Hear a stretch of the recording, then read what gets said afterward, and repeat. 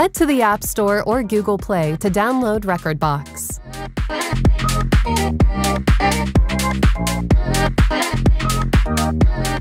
Open the Rekordbox app and register a new account.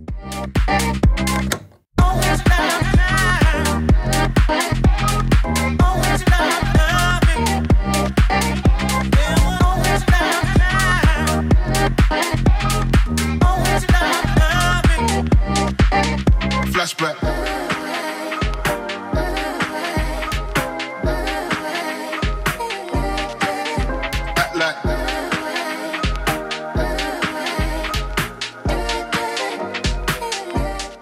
on the drop-down menu in Rekordbox, and you'll see the various sources to choose from.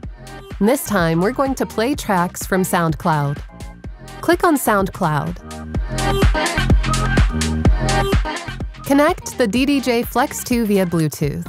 You can connect your smartphone via USB Type-C and play using speakers and headphones. But this time, we'll connect via Bluetooth. To connect the DDJ-FLX2 to your phone via Bluetooth, open the Bluetooth settings from the main Rekordbox menu. Make sure your phone's Bluetooth is on.